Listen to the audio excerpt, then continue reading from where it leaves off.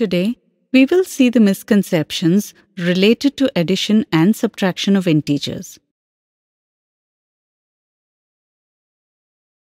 Which of the following statements is correct?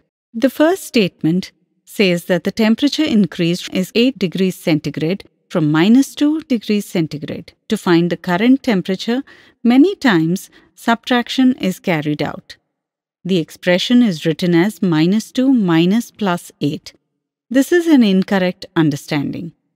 To find the final temperature, we need to find the initial temperature with the increase in the temperature. According to this, the expression will be minus 2 plus plus 8. Therefore, the expression is incorrect. It cannot be the answer to the given question.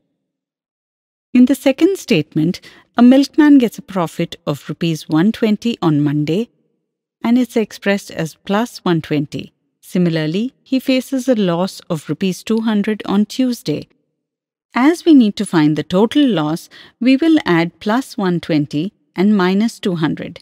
Therefore, the second statement is correct. To find the total loss, sometimes it is understood that loss has to be subtracted from the profit. That is, plus 120 minus minus 200. This is an incorrect understanding. Misconception 2. Find the result of 2 plus minus 6.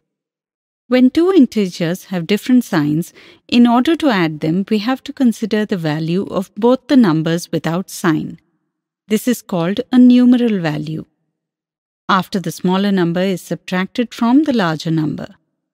Later, the sign of the larger number is included in the result. By doing so, we get the correct answer, option 1, that is minus 4. While adding two integers, Sometimes the signs are ignored and the numbers are added, which gives the incorrect answer 8. Similarly, many times the numeral values, that is, values without sign, are simply added and sign of the larger number 6 is included. Therefore, the incorrect answer minus 8 is chosen. Today, we have seen the misconceptions related to the addition and subtraction of integers.